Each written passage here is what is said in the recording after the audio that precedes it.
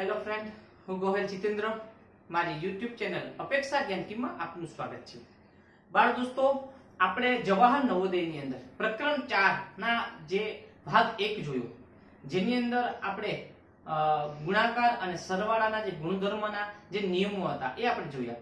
ત્યાર પછી આપણે ભાજક શોધવાનો અથવા ભાજ્ય શોધવાનો. કઈ સંખ્યાને પાંચ વડે ભાગતા શેષ આટલી વધે છે ભાગફળ આટલું વધે છે, તો તે સંખ્યા કઈ છે? આવી રીતે આપણે ઉદાહરણો જોયા. આશા રાખું છું તમે વધારે પ્રેક્ટિસ માટે તમારી પાસે જે બુક હશે, એમાંથી મહાવરો વધારે કરવા માટે પ્રયત્ન કર્યો હશે. મિત્રો હાલ આપણે પ્રકરણ ચાર, ભાગ બે ની અંદર સાદુરૂપ મિત્રો, આપણે સૌપ્રથમ સાદુરૂપ છે, ભાગુ સભાના આધારે કેવા દાખલા બને, એ આપણે જોવા પ્રયત્ન કરશું. તમે પણ આશા રાખું છું, નોટ અને પેન સાથે રાખો. એક એક દાખલો આપણે કરતા જઈએ. તમે પણ બુકમાં સાથે લખતા જાજો. બરાબર? તો વધુ સમય ન લઈએ પ્રશ્ન ઉદાહરણ તરફ આગળ વધીએ. મિત્રો, આપણે ખ્યાલ છે કે સાદુરૂપ જ્યારે કરવાનું હોય, બરાબર? તો ગાણિતિકની અંદર ખાસ વસ્તુ છે ભાગુ સભા એ શું છે? કોઈ પણ દાખલો આપે. દાખલા તરીકે આપણે વાત કરવાના છે પંદર વત્તા ચાલીસ ભાંગા ચાર. આ રીતનો દાખલો છે મિત્રો. તો આની અંદર શું કહેવા માંગે છે? તો પહેલી વસ્તુ છે પંદર વત્તા ચાલીસ છે. એક ક્રિયા. બીજી ક્રિયા છે ભાંગાકારની. તો ખાસ બાળકો, આપણે આવા દાખલા હોય તો બીવાનું છે નહીં. આપણને આવી રીતે સાદા સરવાળો હોય પંદર વત્તા ત્રણ તો આપણને આવડે. કે ભાઈ પંદર વત્તા ત્રણ અઢાર. પંદર ઓછા ત્રણ કીધા હોય તો આપણને આવડે. કેટલા થાય? તો કે ભાઈ બાર. પંદર ભાગ્યા ત્રણ કીધું હોય તો પણ આવડે ત્રણ પંચા પંદર. જવાબ પાંચ. મિત્રો, આ તો સરળ છે. કોઈ પણ એક ક્રિયા, પણ આની અંદર એમ કહેવાય છે કે બે ક્રિયા જોઈએ છે આપણે. કઈ ક્રિયા છે? ભાઈ એક સરવાળાની ક્રિયા અને ભાગાકારની ક્રિયા. આવા દાખલા હોય તો બીવાનું નહીં, મિત્રો. પહેલા તો આપણે બાર દોસ્તો ભાગાકાર કરશું. કેટલો? તો કે 40 અને 4 નો ભાગાકાર આ રીતે આપણે જોઈએ ચાર દાન 40 શું જવાબ આવ્યો? 10 તો 15 ના 15 નીચે રહેશે વત્તા 10 ત્યાર પછી આ બંનેનો સરવાળો. 15 ને 10 25 આપણે ગયો. આવી ગયો જવાબ. કેટલું સરળ છે મિત્રો. પેલો ઉદાહરણ આપણે જોઈએ છે 15 40 અ, ભાગ્યા ચાર. એકદમ સરળ છે. બીજું ઉદાહરણ આપણે જોઈએ. આ રીતે જ આપણે બીજું ઉદાહરણ જોઈએ કે ભાઈ બત્રીસ ગુણ્યા સો ભાંગા પચાસ. મિત્રો, અહીંયા પણ આપણે જોઈએ તો બત્રીસ ભાંગા કેટલા બત્રીસ ગુણ્યા કેટલા કીધા? સો. અહીંયા ગુણાકારની ક્રિયા છે, બીજી ભાગાકારની ક્રિયા છે. તો સૌ પ્રથમ આપણે કઈ ક્રિયા કરવાની? ભાગાકારની. તો સો ભાંગા પચાસ કરો. સો ભાંગા પચાસ. મિત્રો, આ રીતે પણ કર્યા. સો ના છેદમાં કેટલા હોય? પચાસ. ભાંગાકાર માટે એટલા અંશ અને છેદના સ્વરૂપમાં કોઈ તો આપી શકાય. પચાસ દુ. સો. આમ પણ થશે. બરાબર? અહીંયા મીંડું મીંડું પાંચ, દુ, દસ, તો પણ જવાબ કેટલો આવે? બે. અહીંયા પણ બે આવે છે. તમને જે સરળ પડે એ રીતે આપણે આગળ વધવાનું. બરાબર? અહીંયા શું આવશે? પેલા બત્રીસ ના બત્રીસ ગુણાકારના ગુણાકાર આનું સાદુરૂપ શું આવ્યું? બે. હવે બત્રીસ ગુણ્યા બે કરીએ એટલે જવાબ આવશે ચોસઠ. મિત્રો બત્રીસ ને આ રીતે બે વડે ગુણી નાખો. બે, દુ, ચાર, બે, તેરી, છ. બરાબર? આ રીતે જવાબ આવે છે ચોસઠ. એકદમ સરળ છે. બરાબર? અત્યારે આપણે ભાગ ભાગ બે ની અંદર ખાસ શું શીખવાના છે? તો કે આવા દાખલા કે જેની અંદર બે ક્રિયા આપેલી હોય, ત્યાર પછી આપણે હજુ દાખલો ઉદાહરણ ત્રણ જોઈએ. કે ભાઈ, ત્રેસઠ વત્તા પંદર ઓછા ચાર, બરાબર? તો હવે અહીંયા જોઈએ, ભાગુ સભા તો આની અંદર ભાગાકારની ક્રિયા પણ નથી આપી, ગુણાકારની ક્રિયા નથી આપી. તો સૌપ્રથમ આપણે ભાગુ, ગુણાકાર પણ નથી. સરવાળો, તો હા આ બંનેનો સરવાળો છે, તો આ બેનો સરવાળો કરીએ. તો પાંચ ને ત્રણ આઠ. છ ને એક થશે સાત ઓછા ચાર. બરાબર? ભાગુ સભા હવે સરવાળો થઈ ગયો. હવે આપણે બાદબાકી કરવાના છે. એટલે એનો મતલબ આવશે ચુમ્મોતેર. આનો જવાબ છે મિત્રો. આવા જ એકદમ ઈઝી દાખલા હોય છે. પણ થોડીક પૂછવાની પદ્ધતિ બદલાય આપણને દાખલાનો માર્ગ છે એ જતો કરવો પડે. એટલે સૌપ્રથમ આવા સાદા દાખલા આપણે કરીએ. ત્યાર પછી આપણે આગળ જઈએ. દાખલા તરીકે બત્રીસ ગુણ્યા દસ ગુણ્યા શૂન્ય. આવી રીતે દાખલો પૂછવામાં આવે મિત્રો. તો શું થાય? તો અહીંયા જોઈએ આપણે બત્રીસ ગુણ્યા દસ, બરાબર? ત્રણેય ગુણાકાર છે.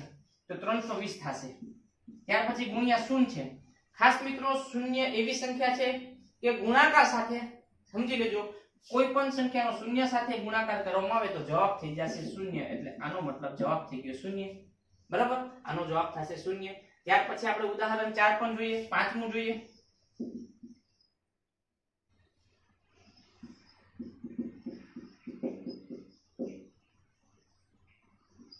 બરાબર? 60 ભાગ્યા 15 ગુણ્યા 3 ઓછા 4 મિત્રો, અહીંયા આપણે શું કરવાનું છે? તો પેલા ભાગાકાર. બરાબર? સો સાહીઠ ભાગ્યા કેટલા કરવાના છે? પંદર. પંદર ચોક સાહીઠ શું જવાબ આવ્યો? ચાર. ગુણ્યા ત્રણ ઓછા ચાર. હવે આપણે શું કરવાનું છે? ગુણાકારની ક્રિયા પતી ગઈ. હવે આ બેનો, આ ભાગાકારની ક્રિયા પૂરી થઈ. હવે ગુણાકાર ચાર તેરી બાર આવી ગયા. ઓછા ચાર. બારમાંથી ચાર જશે એટલે જવાબ આવશે આઠ. તો આ આઠ આનો સાચો જવાબ છે. બાર દોસ્તો આટલા સરળ દાખલા હોય છે, પણ પૂછવાની થોડી પદ્ધતિ બદલાઈ જાય, એટલે આપણે મુશ્કેલીમાં મુકાઈ જાય. ત્યાર પછી આપણે હવે થોડીક આગળ વધીએ. આ સ્ટેપ એક એટલે સરળ દાખલા હતા. હવે ત્રણ ક્રિયા હોય. ખાસ આપણે જોઈ લઈએ અહીંયા કે ભાઈ પાંત્રીસ ગુણ્યા બે ઓછા ચોસઠ ભાંગા આઠ. મિત્રો, અહીંયા જોઈએ. આ દાખલો જોઈએ. આની અંદર કેટલી ક્રિયા છે? ગુણાકારની છે બાદબાકીની ક્રિયા છે અને ભાગાકારની. તો સૌ પ્રથમ આપણે શું કરશું? ભાગાકાર કરવાના. તો આ આપણે જે જવાબ દાખલાની શરૂઆત અહીંથી કરશું. આખે આખું સ્ટેપ નીચે ઉતારશું. પાંત્રીસ ગુણ્યા બે.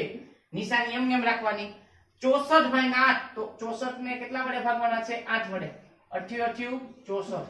મિત્રો, અહીંયા જવાબ કેટલો આવે છે? 8 જ આવે છે. ત્યાર પછી બીજી, બીજું સ્ટેપ શું છે? ભાગવું. તો અહીંયા મિત્રો આ બંનેનો ગુણાકાર કરવાનો. પાંત્રીસ દુ કેટલા થાય? સિત્તેર. સિત્તેર ઓછા આઠ. હવે આપણું ત્રીજા સ્ટેપમાં જવાબ આવી જશે. ઇઠોતેરમાંથી સિત્તેરમાંથી આઠ જશે એટલે સિક્સટી ટુ. બાસઠ આપણો જવાબ આવે છે. એકદમ આવા જ દાખલા મિત્રો નવોદયની અંદર ગણિતમાં પૂછાય છે. સાદુરૂપના આવા જ દાખલા હોય છે. કંઈક આપણે આ પણ જોઈએ. ઉદાહરણ સાતમું જોઈ લે નવ ગુણ્યા ત્રણ ઓછા ત્રીસ. ગુણ્યા શૂન્ય. મિત્રો, આ રીતે કંઈક દાખલો હોય તો શું જવાબ આવે? આપણે એવો પણ જોઈ લે અહીંયા આપણે શું કરવાના છે? ખાસ કરીને અહીંયા ગુણાકાર છે, અહીંયા પણ ગુણાકાર વચ્ચે છે, બાદ બાકીની ક્રિયા તો પેલા ગુણાકાર કે નવ નવ તેરી સત્યાવીસ. પણ મિત્રો, અહીંયા શું થશે? અહીંયા જોઈએ આપણે. ત્રીસ ગુણ્યા શૂન્ય કીધું છે. કોઈ પણ સંખ્યાનો શૂન્ય સાથે ગુણાકાર જાય તો જવાબ શૂન્ય આવે. બરાબર, કેટલો જવાબ આવ્યો? સત્યાવીસ. મિત્રો, આ બધી ક્રિયા આપણે જ્યારે દાખલા પૂછાય નવોદયમાં તો એકદમ સરળતાથી મૌખિક પણ આપણે કરી શકીએ. તો અહીંયા આપણે ભૂલ ન થાય, એવી ધ્યાન રાખીએ. ત્યાર પછી બાળકો, તમને હોમવર્કમાં હું બે ત્રણ દાખલા આપું છું આજે અહીંયા. બરાબર? ખાસ હોમવર્કમાં જે આપું છું દાખલા એ કરજો. બરાબર? અહીંયા હોમવર્ક આપી દે.